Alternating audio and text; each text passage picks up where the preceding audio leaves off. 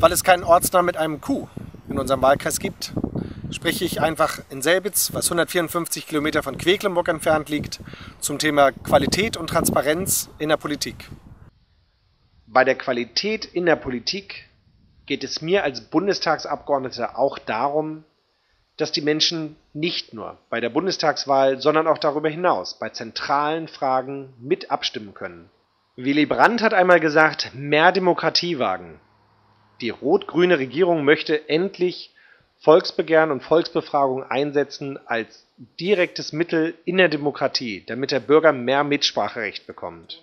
Zum Thema Transparenz möchte ich mich als Bundestagsabgeordneter dafür einsetzen, dass endlich erkennbar wird, wie viel die Bundestagsabgeordneten verdienen. Rot-Grün setzt sich dafür ein, dass die Bezüge transparenter und klarer offengelegt werden. Ich selber würde als Bundestagsabgeordneter meine Bezüge aufführen und das Prinzip der gläsernen Taschen verfolgen. Die schwarz-gelbe Regierung verweigert sich dafür. Geben Sie mir also Ihre Stimme, wenn Sie einen Bundestagsabgeordneten für die Region haben möchten, der dieses Ziel verfolgt. Wählen Sie mich am 22. September für unsere Region in den Deutschen Bundestag. Wenn Sie möchten, begleiten Sie mich weiter durch unseren Wahlkreis und meine Themen.